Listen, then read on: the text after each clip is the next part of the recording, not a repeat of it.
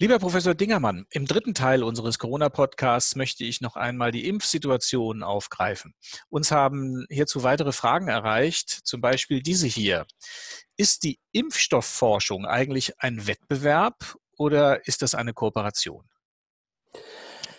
Nun, in der Wissenschaft äh, herrscht immer Kooperation, muss man ganz klar sagen. Und das gilt auch für große Firmen. Auch hier wird äh, kooperiert. Allerdings hat die Kooperation natürlich auch Grenzen, denn äh, gerade bei so starken Themen wie beispielsweise Impfstoffforschung, da äh, herrscht natürlich auch Wettbewerb. Und äh, das ist nicht schlecht, denn der echte Fortschritt, der kommt immer aus einer Wettbewerbssituation heraus. Wenn kein Wettbewerb mehr möglich ist oder wenn Wettbewerb sich nicht rentiert, dann werden wir auch keinen Fortschritt haben. Und da gerade hier tatsächlich enormer Wettbewerb herrscht, man hat ungefähr in der Größenordnung von knapp 50 Impfstoffprojekten im Moment auf dem Schirm, wird man hier auch relativ schnell Fortschritte sehen. Kommen wir zur zweiten Frage. Wäre die Impfung, wenn es denn eine gibt, eigentlich eine Impfempfehlung ähnlich der Grippeimpfung? Also wäre es wie eine zusätzliche Impfung oder würde es einfach ein Update sein der jährlichen Grippeimpfung? Nein, äh, da muss man ganz klar sagen, das wäre eine zusätzliche Impfung. Die Grippeimpfung taugt nicht, um vor SARS-CoV-2-Infektionen äh, zu schützen. Das ist äh, bereits jetzt äh, vollkommen klar. Es wäre also eine zusätzliche Impfung, aber diese Impfung wäre äh, natürlich eine Impfempfehlung. Wenn die STIKO sich dazu durchringt, das muss man auch ganz klar sagen, aber eine Impfpflicht in diesem frühen Teil, die wir ja normalerweise sowieso nicht kennen, bis jetzt auf die Masernimpfpflicht, die wird es in diesem Fall mit Sicherheit nicht geben. Es wird wahrscheinlich auch nicht notwendig sein, sich jedes Jahr impfen zu lassen, wie das bei der Grippeimpfung der Fall ist. Man sieht Anzeichen, dass das Genom dieses SARS-CoV-2-Virus deutlich stabiler ist als beispielsweise das Influenza-Genom, sodass diese Impfung voraussichtlich deutlich länger halten wird als nur eine Periode.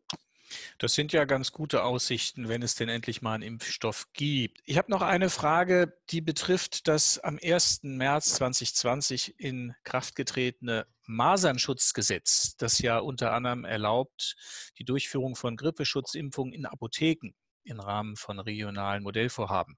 Können also künftige Corona-Impfungen in Apotheken im Rahmen dieses fünfjährigen Modellversuchs auch stattfinden? Das glaube ich nicht. Äh, ich gehe nicht davon aus, dass das möglich ist und äh, ich glaube auch, dass das nicht sinnvoll wäre. Man muss zunächst einmal Erfahrungen sammeln mit dieser Impfung. Man weiß im Moment noch gar nichts. Aber selbst wenn die Impfung da ist, dann wird man natürlich auch dahingehend Erfahrungen sammeln müssen, wie oft es hier, ich sag mal, zu Zwischenfällen kommt, wie oft hier tatsächlich eine gewisse Notfallsituation, beispielsweise ein anaphylaktischer Schock auftreten wird.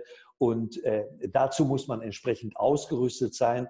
Das wird nur äh, in Arztpraxen möglich sein. Die Tatsache, dass äh, den Apothekerinnen und Apothekern erlaubt wird, vielleicht sogar gefordert wird, gegen äh, Grippe zu impfen, die beruht auch darauf, dass dieser Impfstoff extrem gut verträglich ist, sodass es hier ganz selten zu diesen Zwischenfällen kommt. Solange man das nicht für den Corona-Impfstoff weiß, und das wird eine ganze Zeit lang dauern, kann man davon ausgehen, dass Impfen in der Apotheke gegen diese Infektion nicht möglich ist. Eine weitere Frage, die uns erreicht hat, betrifft das sprichwörtliche Medikamente hamstern. Wir wissen natürlich, dass viele Menschen in der Krise dazu neigen, sich zu bevorraten, sich möglicherweise überzubevorraten. Macht diese Praktik aus Ihrer Sicht auch für den Apotheker Sinn? Wo muss der Grenzen ziehen? Hamstern macht natürlich äh, keinen Sinn und schon erst recht nicht Hamstern von Arzneimitteln, denn Arzneimittel werden ja nicht täglich genommen, sondern sie werden bei Bedarf genommen. Gerade die Arzneimittel, die hier im Verdacht stehen, gehamstert zu werden, dass man so sagen darf, Das sind ja oft Selbstmedikationsmedikamente und davon sollte man ganz dringend abraten. Wo dies auffällt, da kann man einen äh, realistischen Verdacht äußern, dass äh, diese Kunden oder Patienten nicht richtig mit Medikamenten umgehen. Hamstern bei Arzneimitteln macht überhaupt keinen Sinn. Darf ich hier nochmal nachfragen?